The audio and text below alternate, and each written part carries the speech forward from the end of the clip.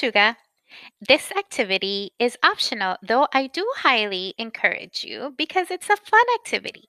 This is also a two part activity. Today, you are going to create your own store, and tomorrow, you will have the opportunity to shop at somebody else's store. So, let's go ahead and start with the instructions. You're going to think of a kind of store to create. You can create a pet store where you sell pets or pet um, pet clothes or pet food. You can create a grocery store or a clothing store.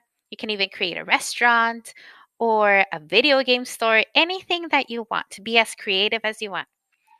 Then you're going to search for images and paste on the slide with your class number on it. So if in your class you are number five, you would scroll to the slide that has the number five in it.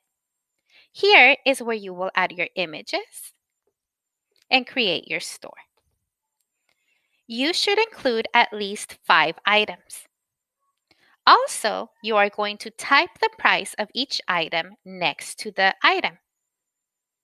Each item should be less than $1 or 100 cents. you are also going to type the name of your store next to your number. Okay? So I am in my classroom, I am number 20. And I am going to be silly and I am going to create a magical pet store.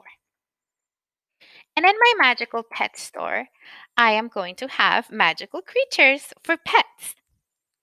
So, what I do is I go to where it says insert, scroll down to where it says image, hover over it, and while you are hovering over image, you're going to go to the side and you're going to search the web. When you click on that on the side, there will be a bar that pops up that's called Google Images. And on the top, it says search for images. So I'm going to search for a unicorn. And they will give me different options of unicorns. So let's say that I want to choose this unicorn here.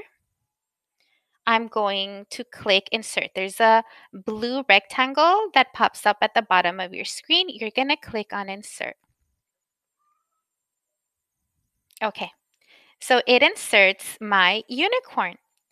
So I'm going to have to add five images and this is too big. So what I do is I hover my mouse over the square um, at the very corner, the bottom corner, and my, um, my mouse becomes a two-sided arrow. So I'm going to click, and while I'm clicking, I'm going to drag. And this is to resize it. Okay, there's my unicorn. I'm also going to include, so I go back to insert, image, search the web, and another magical pet for me would be um, um, Cyclops, a friendly Cyclops. Okay. Um, I'm gonna write, so this one right here, maybe one that's not too scary looking. So I will choose this one, click insert, and it shows me a picture of my Cyclops. So I come to the corner and I resize it and move it somewhere else. Oh, and also, the name of my magical pet store is Lechuga's Magical Pet Store. Okay, I have to add four more items.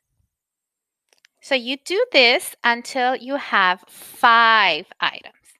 Okay, after you have chosen your five items, you will go to the T, the text box. I'm going to click on text box and I will create a text box right underneath the pet that I want.